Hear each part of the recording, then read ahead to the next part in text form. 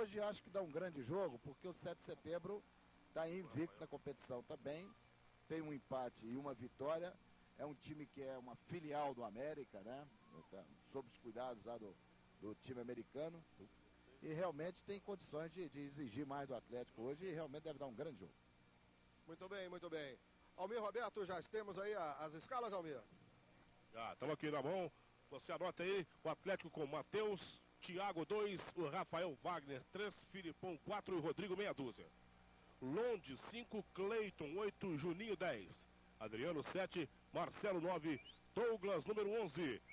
O time do 7 de setembro com Otávio no gol, Thiago 3, Igor 4, aliás, Thiago 2, Igor 3, Alessandro 4 e Marcos meia dúzia.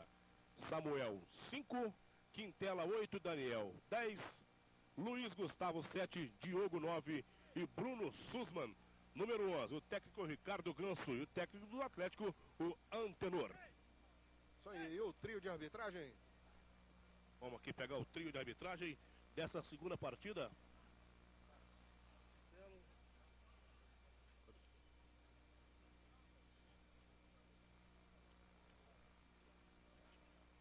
Vamos lá. Vai apitar o Marcelo Rufino Santos, que é o árbitro.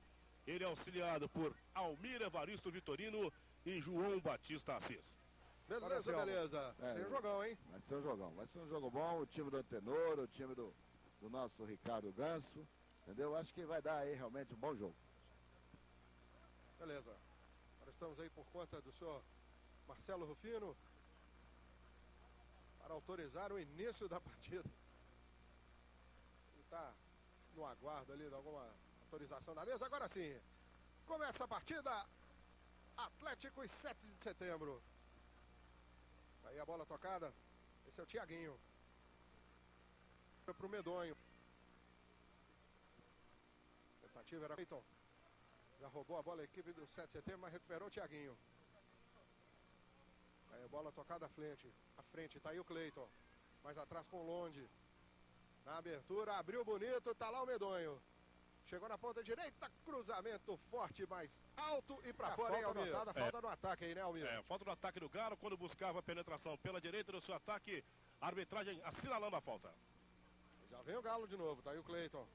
Abertura pro Adriano. Tocou no meio, a bola tocou na zaga, a sobra é do Luiz Gustavo. Lançamento forte buscando o Diogo. Tá lá na velocidade o Diogo.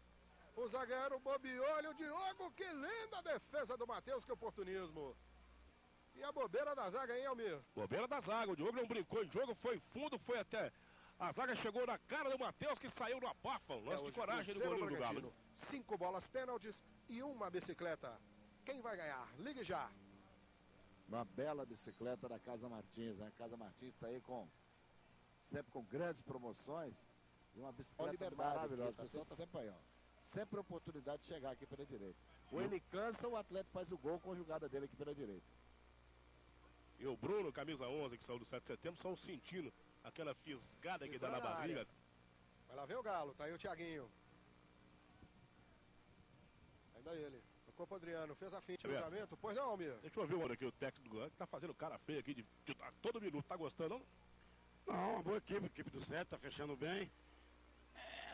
A equipe até passar um nervosismo, o tempo é muito curto, o pessoal fica meio apavorado, mas nós vamos consertar isso aí. Tá bom. Tá vendo alguma falha que você já, já detectou? Não, o jogo tá todo pela direita, eu acho que tem que forçar a linha de fundo e fazer o cruzamento certo. O técnico do Galo anterior, naquilo que o Flávio falou, né? Exatamente. Variar mais, né? O jogo não pode ser para um lado só, não. Você veja bem, o Daniel do, do 7 de setembro, ele já fez essa marcação agora. O próprio Ganso sentiu isso, colocou o Magno ali para ajudar na marcação. Então a marcação pro lado de cá, por exemplo, está muito forte. O time do, do 7 de setembro sentiu isso. O Daniel faz a primeira pegada ali em cima do Tiaguinho e o Magno fica na sobra. E ainda tem a sobra do, do, do- do lateral esquerdo Magnus, o 6, do Marcos.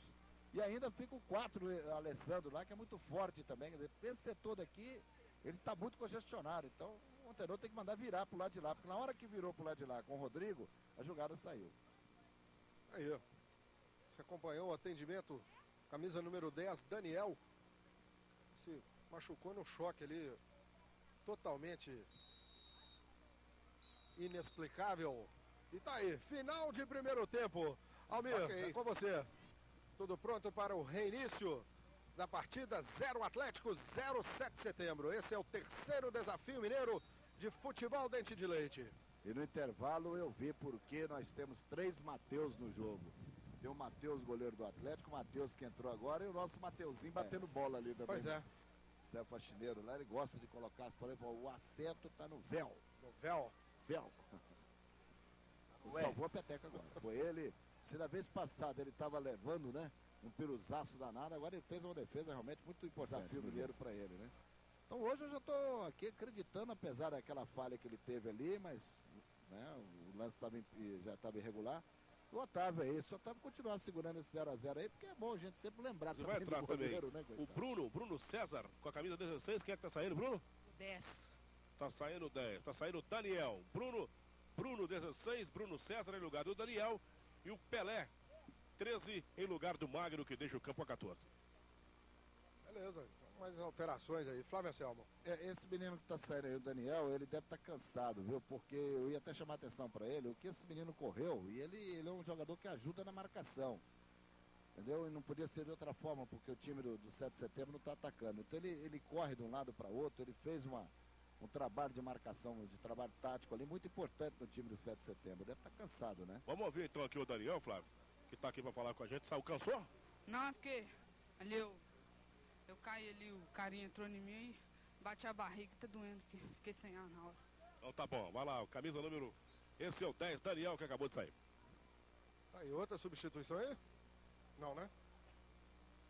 Tem, tem o 16, camisa 16 do Galo, o Glauber. Foi firme, lugar né? de quem que vai. E mais uma mudança hein, do time do Atlético. Vai sair o artilheiro Marcelo. Vai deixando o campo Marcelo, vai entrar o camisa 17, Rafael Moura. Rafael Moura, 17, na equipe do Galo. Já fez quatro, tá vindo mais um lá, ué.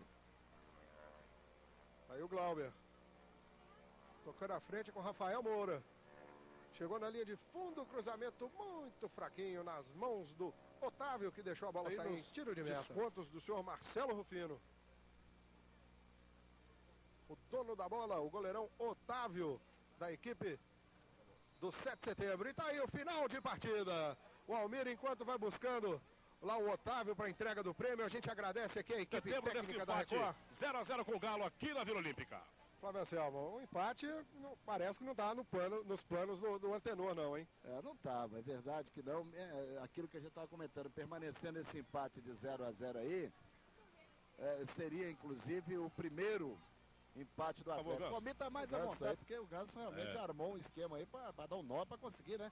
Nem- No desafio mineiro é o primeiro empate do Atlético em três desafios mineiros. É verdade, lembra o Flávio Anselmo que no desafio, durante os, os três desafios, o primeiro time que consegue empatar com o Atlético. O Atlético que vem sempre ganhando. Você armou aqui hoje o seu time e segurou o Galo. É, a gente tem que suprir algumas necessidades da gente, que é a, a- a falta de preparo, que a gente só treina ao sábado, né? E joga no domingo. Então a gente, para suprir essa necessidade, futebol hoje exige muita marcação, exige muita pegada no meio de campo. E um time que tem uma pegada forte no meio, que marca os bons valores que tem os- o adversário, sem dúvida alguma ele vai colher bons resultados. E o que aconteceu com o 7 de setembro, ele marcou bem e soube aproveitar algumas chances, teve duas chances, não concluiu. E o Atlético praticamente só de chute de fora da área teve duas chances só, mas o goleiro teve bem nelas. Aliás, um, o destaque escolhido